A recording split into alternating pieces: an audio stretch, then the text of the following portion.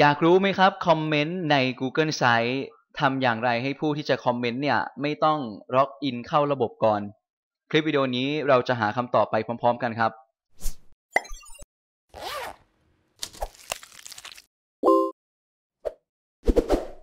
สวัสดีครับ ยินดีต้อนรับทุกท่านเข้าสู่ช่องทีเดนแชร์นะครับ คลิปวิดีโอนี้เราจะมาเรียนรู้กัน 2 เรื่องหลักๆนะครับ เรื่องแรกก็คือเกี่ยวกับการที่ เราจะตั้งค่ายังไงนะครับ ให้นักเรียนเนี่ยหรือว่าคนที่เข้ามาเรียนรู้ในเว็บไซต์เราเนี่ยสามารถที่จะคอมเมนต์ถามตอบนะครับ เสนอแนะนะครับ ได้โดยที่ไม่ต้องมีการล็อกอินเข้าระบบนะครับ แล้วก็มีการใส่พาสเวิร์ดอะไรให้ยุ่งยากตรงนี้ กับอันที่ 2 ก็คือว่า เมื่อมีการคอมเมนต์มาแล้วเนี่ยนะครับ คุณครู หรือผู้ดูแลระบบเนี่ยอยากลบคอมเมนต์ออกเนี่ยจะไปลบตรงไหนนะครับ เราจะมาเรียนรู้กันในคลิปนี้นะครับ พื่อไม่เสียเวลาเดี๋ยวเราไปเริ่มต้นเรียนรู้พร้อม ๆ กันเลยครับ โอเคครับก่อนที่เราจะไปดูคลิปวิดีโอนี้กันต่อนะครับ แนะนำให้ทุกท่านมาที่เว็บไซต์ที่เดนแชร์เมนูวิดีโอนะครับแล้วก็ไปที่เมนูสร้างเว็บไซต์การสอน แนะนำให้ดูนะครับคลิปวิดีโอที่เขียนว่าวิธีการแทรกส่วนเสริม เพื่อเพิ่มปฏิสัมพันธ์บนเว็บไซต์ episode ที่ 12 นะครับ เพื่อที่จะได้เข้าใจความเป็นมาเป็นไป แล้วก็ทำได้ถูกต้องนะครับผม แต่ถ้าเกิดใครมีเว็บไซต์แล้วนะครับ ติดตั้งคอมเมนต์นะครับลงไปที่เว็บไซต์แล้วก็ไปกันต่อเลยครับ หลังจากที่เรามีการสร้างเว็บไซต์เรียบร้อยแล้วนะครับ มีการติดตั้งคอมเมนต์ลงในเว็บไซต์แล้ว เราก็จะไปที่เว็บไซต์ disqus.com นะครับ disqus.com แล้วก็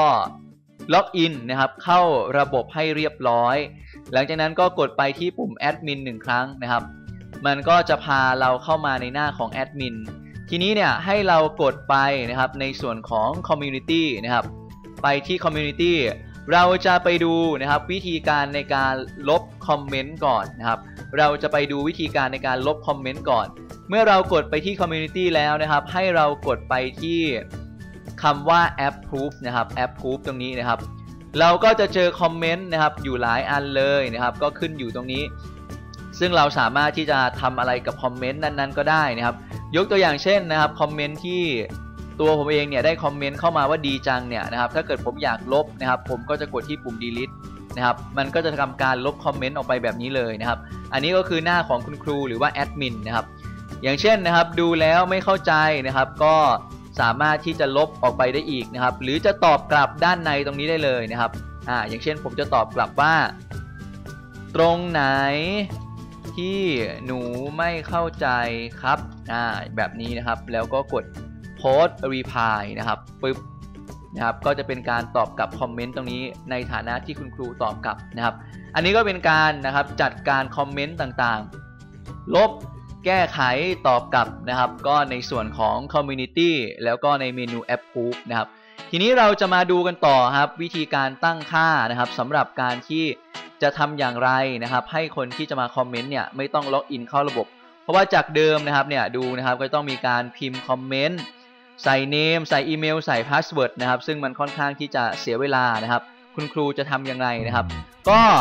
ให้ไปที่แท็บเมนูที่เขียนว่า setting ตรงนี้นะครับ กด setting หนึ่งครั้งนะครับ แล้วก็เลือก TDS Site 2 นะครับ หรือว่าเลือกเว็บไซต์ของทุกท่านนะครับ เลือก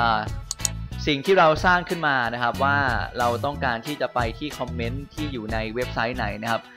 หลังจากนั้นนะครับเมื่อเราเข้ามาที่แท็บเมนู setting แล้วนะครับ มันจะมาที่หน้าแท็บเมนู general โดยอัตโนมัติเลยนะครับ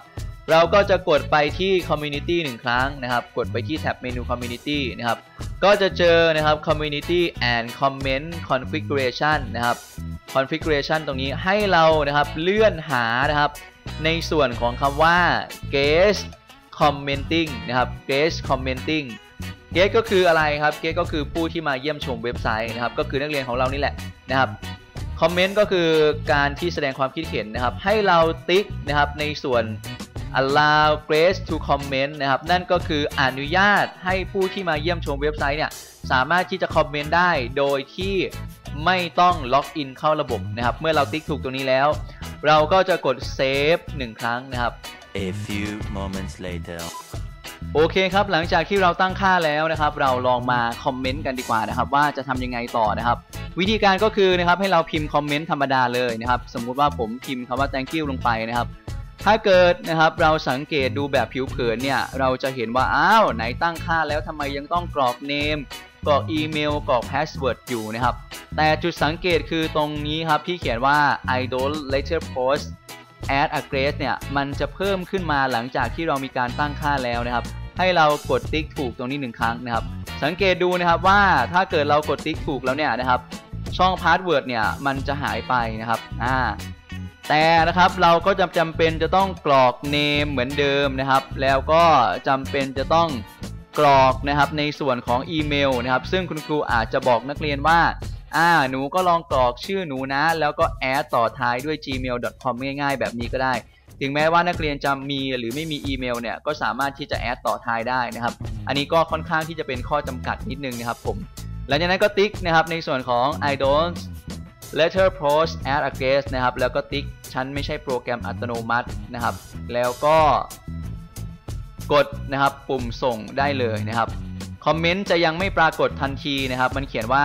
จะต้องรอนะครับแอดมินเนี่ยนะครับหรือว่าคุณครูเนี่ยอนุญาตก่อนนะครับ เพื่อป้องกันนะครับว่ามีคอมเมนต์ก่อกวนไหมมีคอมเมนต์ว่ากันไหมนะครับ คุณครูก็จะต้องกลับมาในส่วนของตรงนี้นะครับ ในส่วนของ หน้าแอดมินนะครับหลังบ้านตรงนี้เหมือนเดิมนะครับคุณครูก็จะมาในส่วนของ pending นะครับ community แล้วก็ pending ก็คือจะต้องมาทำการกรองนะครับคอมเมนต์นะครับอนุญาตคอมเมนต์ก่อนว่าคอมเมนต์ไหนที่จะให้แสดงได้นะครับ ถ้าเกิดมันมีเยอะเนี่ยก็แนะนำให้กดติ๊กถูกช่องตรงนี้นะครับ แล้วก็กด approve มันจะคอมเมนต์อ่ามันจะอนุญาตพร้อมกันเลยนะครับ สมมติมีร้อยคอมเมนต์เนี่ยก็จะอนุญาตทีเดียว แต่ถ้าเกิดมีน้อยเนี่ยคุณครูก็ลองอ่านดูแล้วก็กด approve ทีละคนก็ได้นะครับตรงนี้นะครับ คอมเมนต์มันก็จะมาปรากฏให้